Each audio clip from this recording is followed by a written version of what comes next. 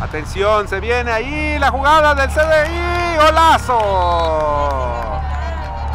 Gol del equipo del CDI. Se pone adelante en el marcador, sorprendió a la defensa de Bali.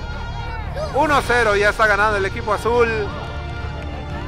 Sorprenden ahí a la defensiva de Bali. Gol del número 12. Fue Edwin Medina, el hombre que anotó el 1-0. Segunda división, Santa Clarita, CDI.